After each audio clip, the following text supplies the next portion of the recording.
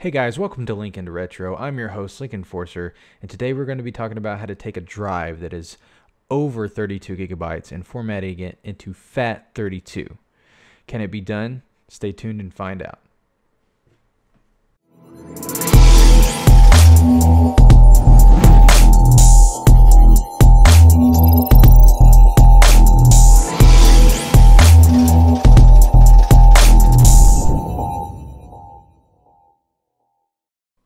So if you're still wondering if you can format a USB drive or an SD card into FAT32 if it's over 32 gigabytes, the answer is yes, you can. However, you can't do that inside the Windows operating system. You're going to need a program in order to do that, which we'll get to here in a second. But I do want to go ahead and show you that I do have a 128 gigabyte thumb drive. I also have a 64 gigabyte SD card. Now, the one thing with the SD cards is that you are going to need some kind of USB card reader. I got this one from a Raspberry Pi um, CanaKit. Uh, you can also get them off of Amazon real cheap for like $10 or even less than that. Um, got this one off of Amazon. I'll leave a link in the description below for this one. Uh, and let's go ahead and get over to the website so I can show you the program that I am talking about. Here we are at Ridgecrop Consultants Ltd. The link to this website will be in the description below. And this is the program that I'm talking about, FAT32 format. In order to download it, all you got to do is click this picture here. It'll bring this up. Just click Save File. It's going to download wherever you have told your computer to save your downloads at. That's pretty much all we need from this website. I'm going to go ahead and close out. Now I've got everything saved to my downloads.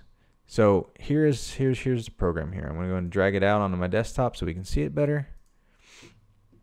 And in order to run it, you just double click it. But first, let's go ahead and stick in my, uh, I'm going to go ahead and use the 128 gigabyte thumb drive.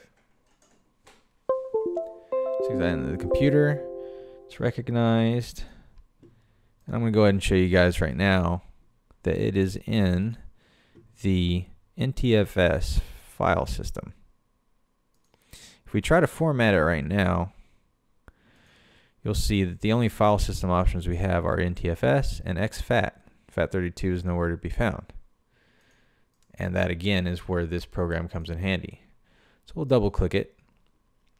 It'll bring up a little warning about do you want to go ahead and run this? Click yes. And you want to make sure that you do have the drive selected that you want to format into FAT32. I don't worry about allocation unit size. Um, you can rename the drive if you want to here. And I always do a quick format. Go ahead and click start.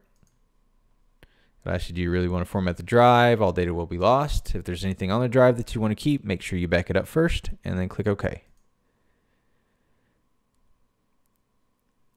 And as simple as that, guys, is now formatted into FAT32.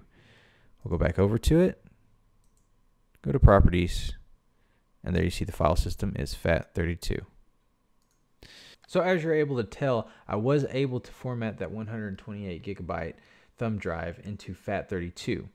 Now the reason why I wanted to do this in the first place was because I do have a Raspberry Pi, it's, got, it's running RetroPie, and I wanted to be able to get the thumb drive to be recognizable by the program. That's why I did it. Um, I thought this was a really useful tool, and I wanted to be able to share it with you guys um, and let you guys know about it in case you're running into the same issue. Uh, with that being said, I'm going to go ahead and check out for the day. And uh, you guys take care, and I'll catch you guys in the next video. Later.